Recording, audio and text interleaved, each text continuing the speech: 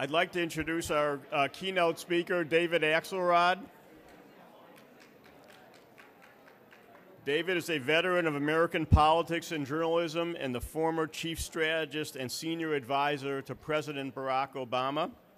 He currently serves as director of the University of Chicago's Nonpartisan Institute of Politics, a senior political commentator on CNN, and host of the Axe Files, a top rated podcast jointly produced by CNN and his institute. David is a former political writer for the Chicago Tribune and later a media strategist for over 150 state, local, and national political campaigns. And he is the author of a New York Times best-selling memoir, Believer, My 40 Years in Politics. Please welcome David Axelrod.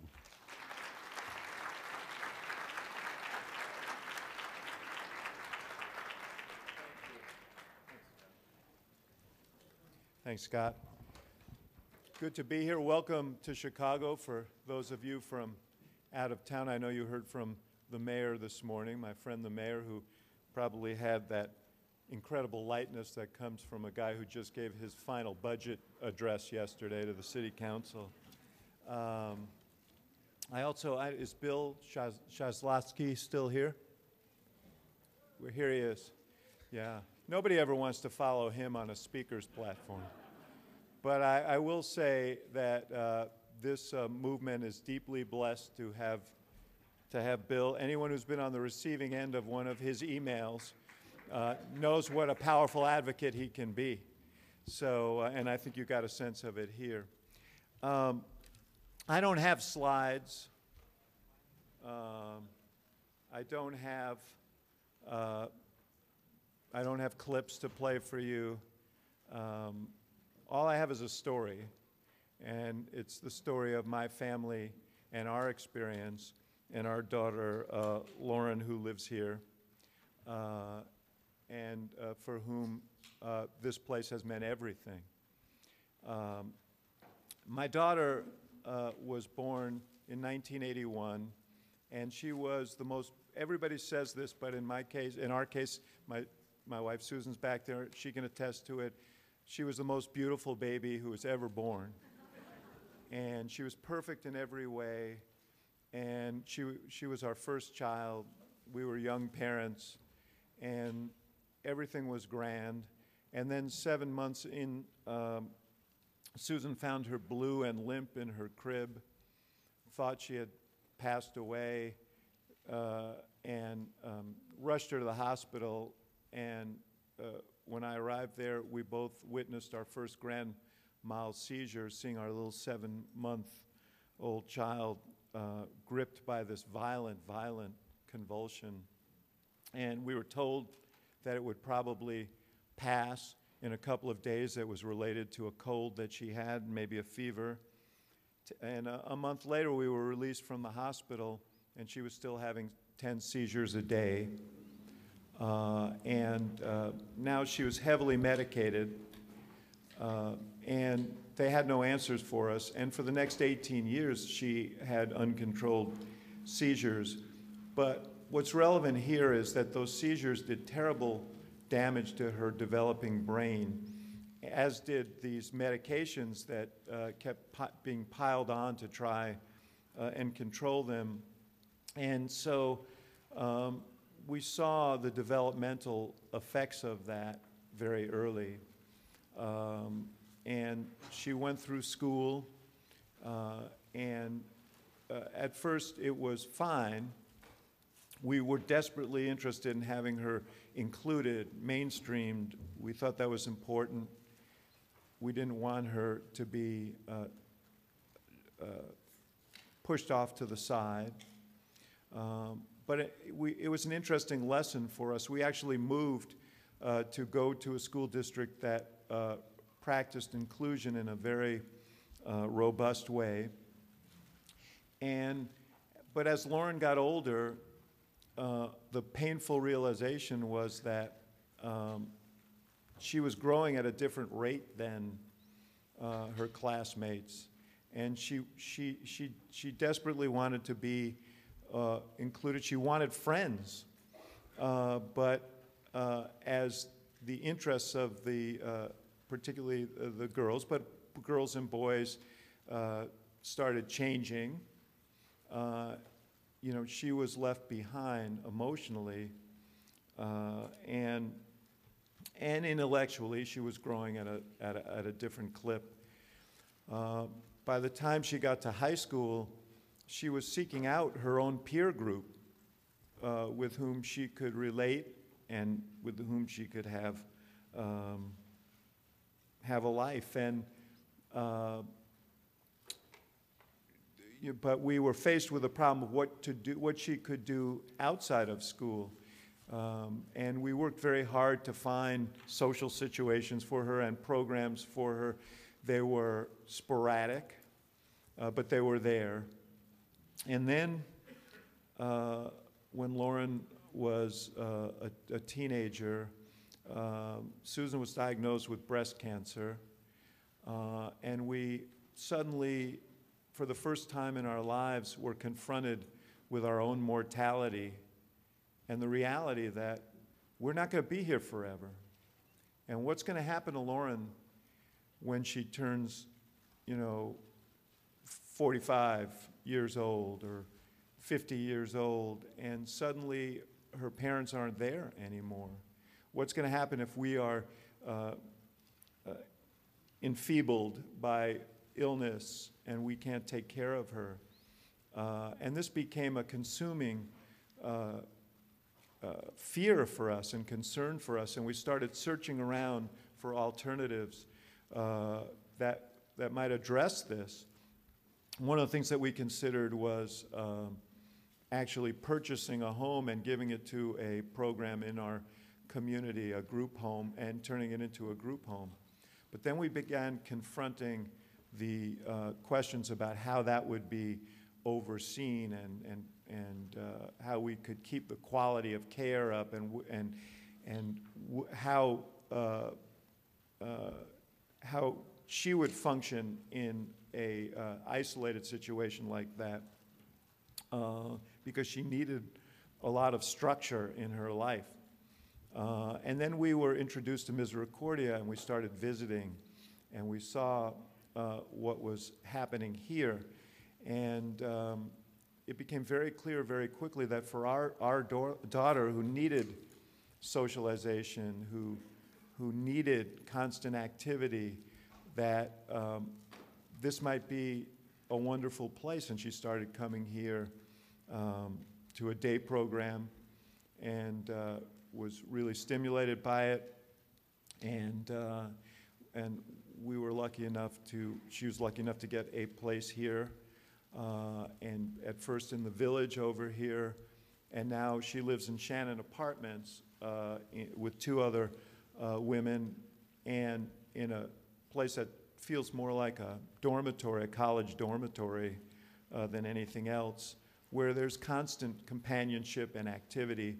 Uh, her days are filled uh, with activities. She works off campus uh, with a group of, uh, of men and women uh, from Misericordia, residents who work at Loyola University, working, doing, cleaning classrooms and doing other things, um, which has been a broadening experience for her and one that she uh, relishes.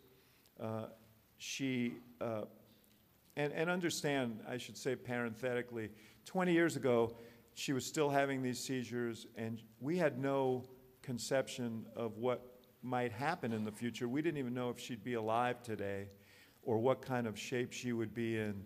We, we couldn't imagine the life that she's leading now. Uh, and she has become much more independent. She goes with some of her friends to the Target uh, in the neighborhood. She goes uh, to restaurants in the neighborhood. Uh, she has developed an independence that we frankly never thought possible. And, um, and she's done it uh, uh, in no small measure because of the uh, extraordinary people who work here and uh, who provide the kind of guidance and care and um, oversight that one hopes for for their children. So in short, um, Misericordia has given our daughter life, a life she never would have had uh, otherwise. It is the it is the perfect choice for her. And, um, and, and needless to say, and everybody here understands this when I say it, it's also changed our lives uh, because um, we have that peace of mind that comes with knowing that she, she's flourishing and that we're not in the position of having to try and find uh, something hour to hour for her to do that would fulfill her need for companionship and activity. Uh, I can't really imagine where she'd be today uh, if not for this uh, wonderful place. So I'm not just here today because uh, Sister Rosemary told me I had to be, though that alone would be reason enough. Uh, I'm here today because I'm very, very grateful for this opportunity for my child and for the gift that she's been given. And I want every uh, person for whom this kind of setting is, is the right kind of setting, for this, this kind of life is the right kind of life, to have that choice. You know, Bill is a fierce advocate, and when he speaks about the people on the other side of this debate, uh, he speaks with the fierceness of an advocate. I want to say a word about them. The fact is that uh, there were large institutions to which people with developmental disabilities were sent and warehoused and neglected and abused.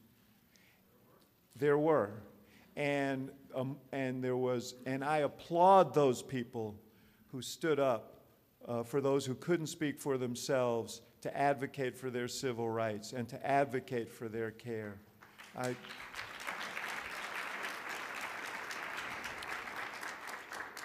and, uh, but somewhere along the line, uh, this has become a dogma that size has become a fetish. Uh, and we've seen uh, this uh, turn into this uh, really perverse situation where our children, our loved ones are told, there's only one choice, and we're going to tell you what it is. And let me also add that um, there is no uh, there is no size uh, limit to uh, abuse, to neglect. we've seen many instances of uh, of, of people who were abused and neglected in, in small settings, in group homes. Uh, we need to be as vigilant about that as we were about and continue to be about uh, the neglect and abuse of people in larger settings.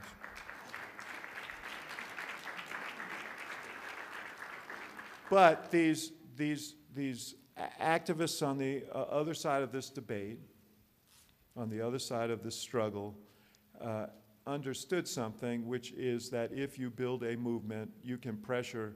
Uh, uh, Bill talks rightly about, about the bureaucracy, but the fact is that um, politicians um, react to pressure. And uh, the first instinct of, you know, I, I, have, I've spent my life writing about politics, I've spent, and in politics, okay? So I have great reverence for pol- politics as a means of um, s- grabbing the wheel of history and turning it in the right direction. I, I believe in this. I believe deeply in, in, uh, in democracy and what it, what it offers us. Um, but so it's good to hear fans of democracy. Um, but it is also true that, uh, that for most politicians, uh, no matter how well intentioned they are, uh, getting reelected is principle number one. Uh, it, it's the rare politician who's willing to risk their, to risk their tenure uh, for a principle, no matter how strongly they feel a, about it. I, I always say there's a reason why that book, Profiles in Courage, was such a slim volume. So if, if you're going to uh, bring about change in a democracy, then you have to be able to bring pressure on people in elective office to make them understand that uh, for us, this is a voting issue. For us, this is a principle uh, that will determine our evaluation of, of them. And that for us, this is a civil rights issue uh, and an issue uh, about how people in our society uh, who have vulnerabilities are going to be treated.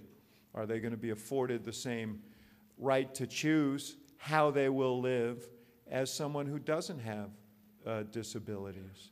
And that's really all we're asking. Bill talked about words like segregation uh, that have been invoked and images that have been invoked uh, to uh, describe um, uh, larger settings. I think choice is a very powerful word. I think it's endemic. Uh, choice is something that uh, we value in our society, that we value in our democracy, and every citizen should have it, even vulnerable citizens. And so we, we have to launch our own movement. We have to uh, launch our own movement for the rights of people with disabilities. And I quite agree with Bill. We can't surrender that turf. We are on, we are on solid ground. We are on, and we can each give testimony to why this is important. Uh, and you know, I forgot to mention earlier, and I want, I don't know, sister, if you uh, have spoken yet. Have you? You did. I, well, I hope you shared the story of how Misericordia began. Uh, but if you, if you did, uh, I'm going to repeat it anyway. So, and I apologize for missing your remarks. Um, but uh, we are not inured. We are not insensitive to the note, to the idea that um, there were these places, and I know you responded earlier, where people were. Uh, where people were warehoused and forgotten and neglected and abused. And the fact that we're here today is in part because Sister was asked uh, by the Archdiocese to uh, look after babies with severe disabilities until they were eligible. And correct me if I'm wrong. I know you won't hesitate to correct me if I'm wrong, but uh, but but uh, and then turn them over to the state when they turn where they when they were eligible. I think at the age of six. Is that right? And uh, she took the first child over. She looked at the facility, and she said, "No, we're not doing this." And she went back to the archdiocese and said, "These these children deserve better, and we can do better." And she told them that she asked for this property. Is that right? Am I telling the story correctly? All right, good enough. I'm, uh, I'm in politics. Close is good enough. Um, and, um, and that's how Misericordia was born. It was a recognition that we had to do better uh, for our most vulnerable people. And we have.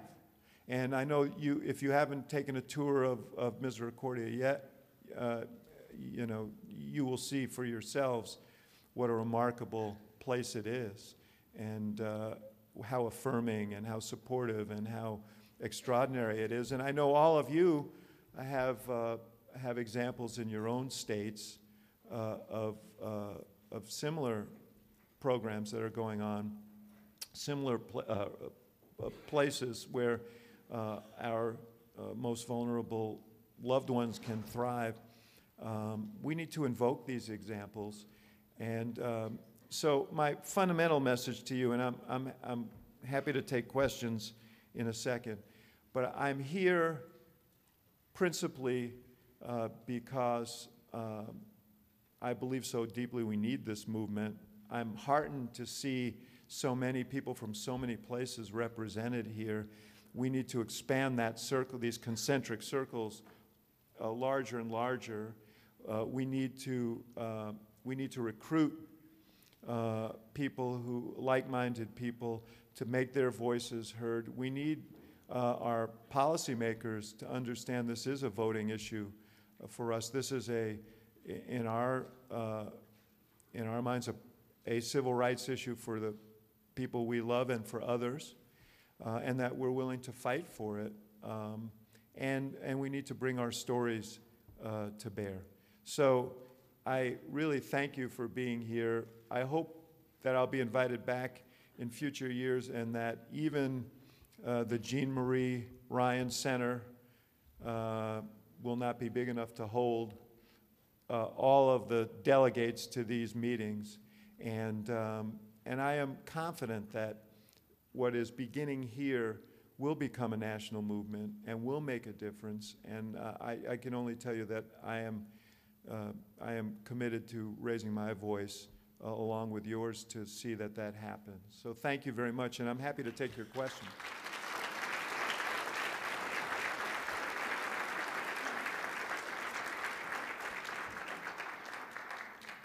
If you have any questions, you may just want to eat lunch.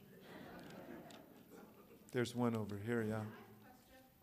So you mentioned that it was a, a, a a civil rights issue, and the other, I hate to call them the other side, but I'll have no other. Yeah, sure, I understand.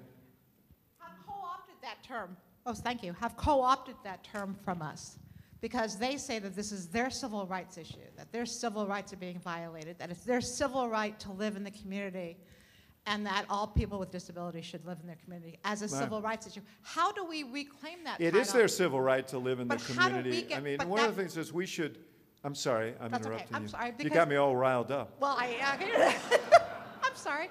I'm a little riled up too. Um, but how do we reclaim that and so that we can say that no, the civil rights are actually providing choice for everybody, or is it?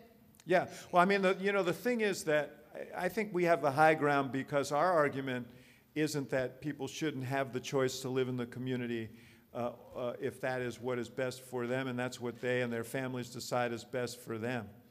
Uh, what we're saying is that there should be a multiplicity of choices, that you shouldn't be limited to one and, and no, uh, no government, no bureaucracy uh, should dictate where you have to live simply because you have uh, disabilities.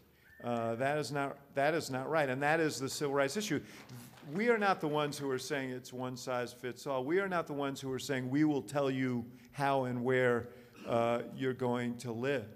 And um, I think uh, you know, the, uh, you know the, one of the important things uh, Bill said is to stand tall on this. We, we are on the right side of the civil rights debate, and we ought to fully engage it.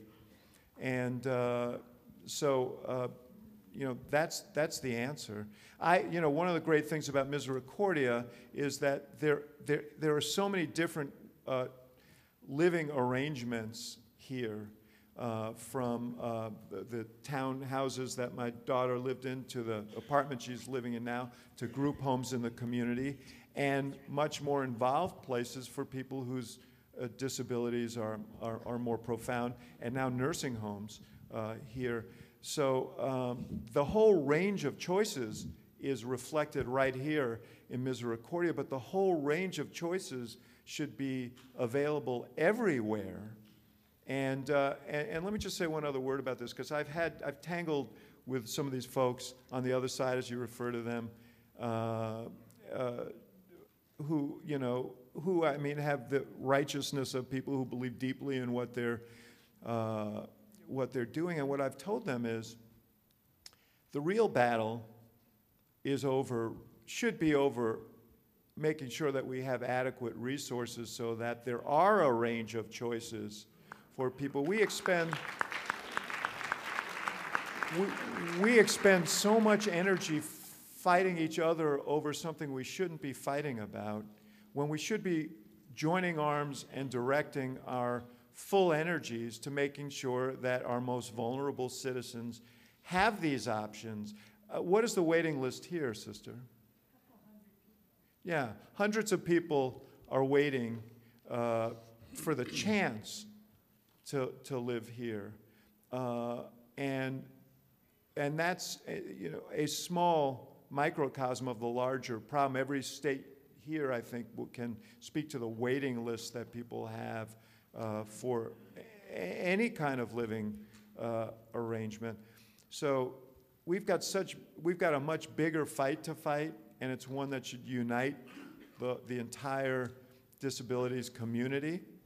Uh, so we need to get past this fight, which, uh, uh, which doesn't make sense. There was someone else who, I, I have Oh, a question over here. where, I oh, can there you stand are, up. there you are, yeah, sorry. Yeah, um, so last summer I was at a congressional briefing for a bill that was introduced. And the bill, the purpose of the bill was to try to expand employment opportunities for people because when some regulations were written for the Workforce Innovation and Opportunities Act, they were overly restrictive. They prohibited some placements in AbilityOne uh, jobs and in state use jobs. Those are good jobs, they're good paying jobs. Uh, and the notion is that somebody believes that they're not integrated without having made an individual decision on each job as to whether or not it's in a, a proper setting. So, in Wheels, uh, adapt protesters shouting at the top of their voices, disrupting this briefing that was meant to share information about this bill. And, you know, I just want a comment on that. Not only that, but when we were asked to leave the room while these people were being um, arrested, they threw the food that was provided for people with disabilities and others who attended the briefing all over the room. And I just think that's unacceptable in a society, in a democracy, to have people come in and not permit the other side their free speech that is their right. Yeah, well, I have no rebuttal to that. I, I agree with that completely, but there is a, let me repurpose your question.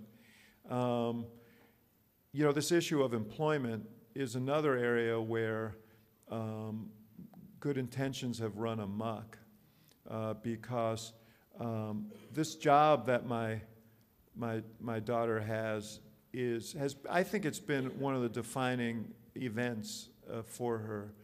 Um, but, um, you know, on the one hand, if she were to earn too much, she would disqualify herself for Medicaid.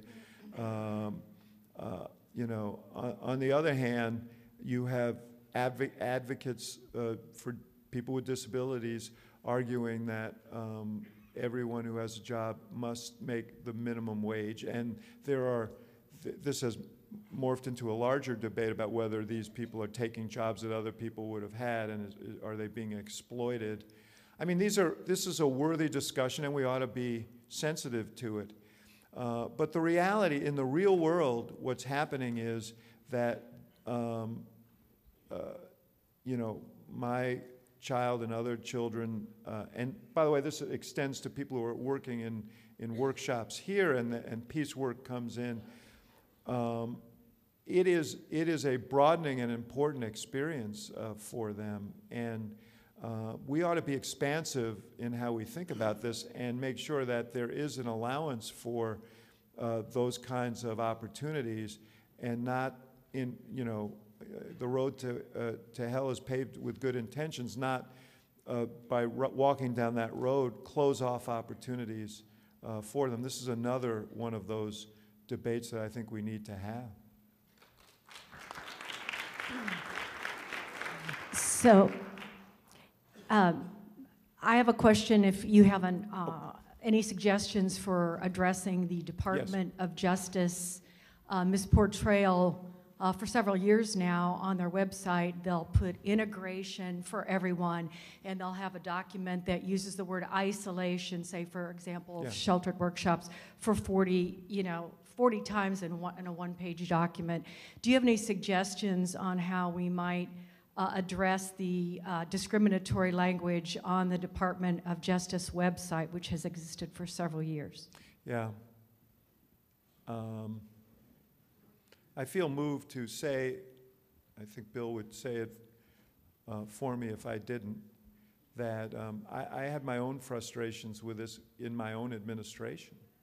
Um, again, you know, it's uh, it, it is a a one-sided view of uh, of of what civil rights and uh, the rights of you know we, we ought to be vigilant about exploitative situations and unfair situations wherever we find them. But we, we can't allow, you know, we could compile on this screen a um, compendium of horrendous stories and photos of abuses in group homes.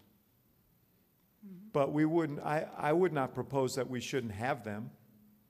I would propose that we should make sure that they're properly staffed and overseen.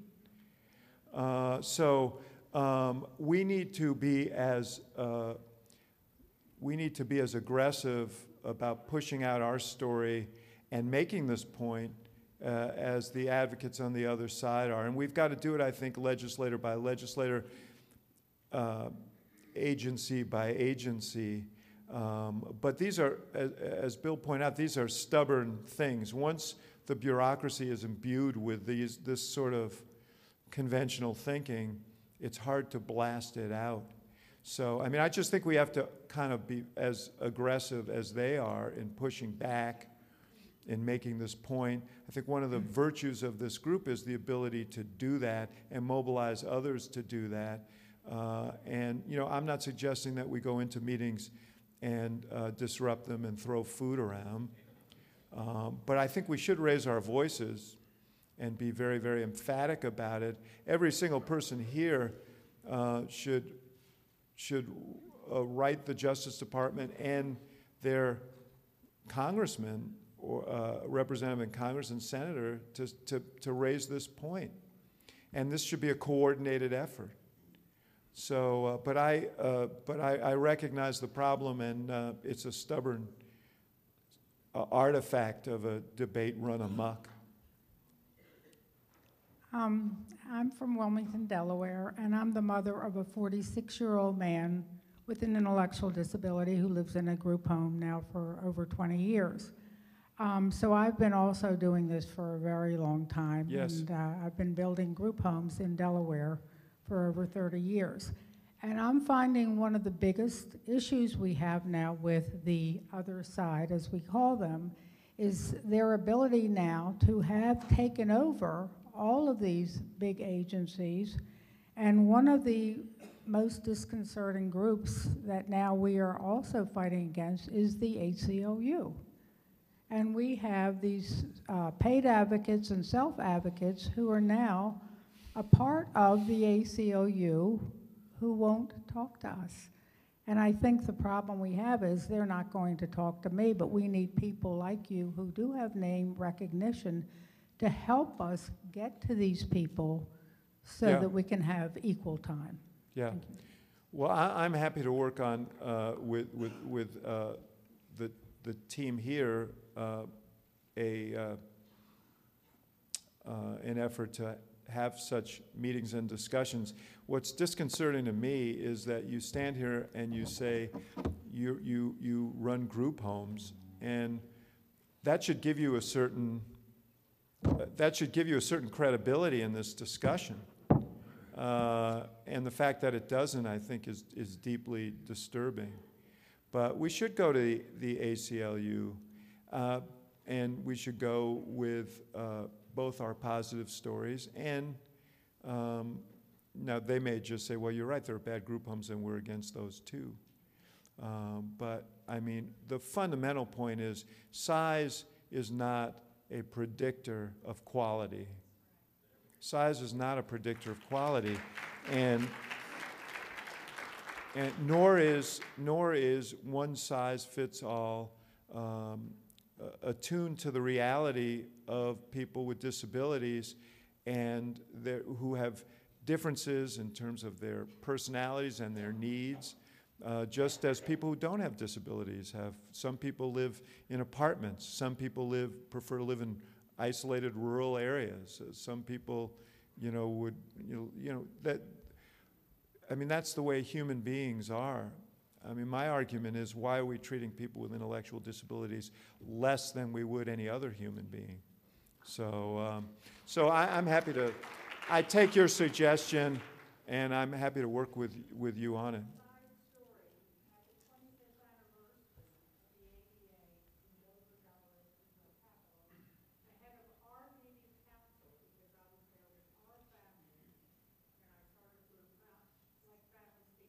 Yes.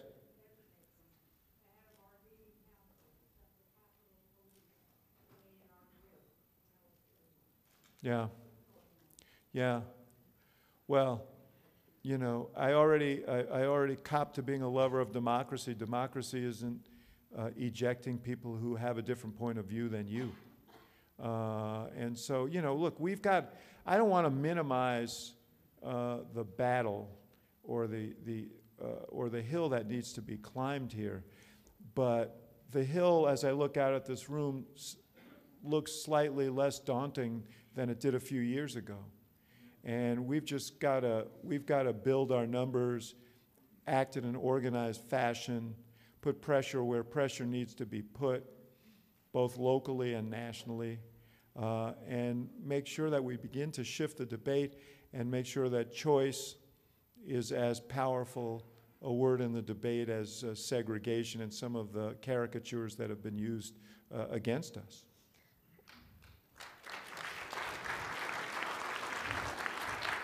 So one last question. One, I'll make it quick. Um, that's I'm, okay. thank you for being here. Yeah. I'm also a parent. My son's 15, and so many years ago, I started, started a nonprofit in my local community to help create programs and services for our special needs community. I've worked extensively with our state rep and senator, and anytime I meet with them, they're very supportive, and we're going to be there, we're going to help you. And when it comes time to voting, they vote against what we're what we're going for. So I guess at this point I'm just so frustrated with having these meetings with them and then having them vote that way. Do you have any recommendation to try and keep them accountable without necessarily What, um, and, and, and where are you from? Grundy County, Senator Rezin and Rep Welter? And, and uh, do you have others, do you, have you, a community of people there who uh, are with you? I mean, when you go to these meetings, how many people go? Uh, a large community. They know we've, our nonprofit Special Connections has grown in eight years to serve thousands of people through our community. And it's just a, a volunteer run program. And we've now connected with Trinity Services to offer some more programs. So we have the people and you know they understand what we're working against but when it comes time to voting they vote with what maybe is the majority of, of their party um, what, and, and how do they explain their votes to you? Um, well, they'll oftentimes they'll say, well, there was a part of it that the reason I couldn't vote for it was because of this segment, but I support this part. So they make it seem like it's too complicated for just a straight support vote. So You know, I mean, I, th- I'm now betraying my bias as someone who ran campaigns for 25 years. But it may be that we need to think about strategies to raise the public, you know, not make these conversations not just in the room, but also a larger conversation among the public. absolutely, because I think most people are too afraid to approach them, and and to hold them accountable for fear that they're not going to get the funding or support that they so desperately need. Yeah, no, I understand that. But, you know, it seems to me if a coalition of people who run small settings and, and, and larger settings uh, come together and, say, uh, and, and raise this as a civil rights issue and make it a public issue and maybe do, you know, even do advertising in markets and, and uh, events, public events. I mean, I think a full public relations strategy in some of these districts might make it a little bit easier. But uh, again, you know, we're climbing a hill, and that hill's been built up over a long period of time. But I think the tactics of activism have to be employed the other way, and uh, the, the invocation of civil rights uh, needs to be turned the other way. And we just need to engage in that debate fully. Uh, so, um, you know, as long as it's an inside game, that gives the other side an advantage. And so, uh, you know, I, I would employ the, the tactics of activism uh, as, as they've been employed on the other side, within reason. Awesome, thank Yeah, you. Yeah, thank you so much. I, I thank you for being here, and I'm inspired to see all of you, and I look forward to seeing you again, again in a larger and larger group uh, in the years to come. Thank you.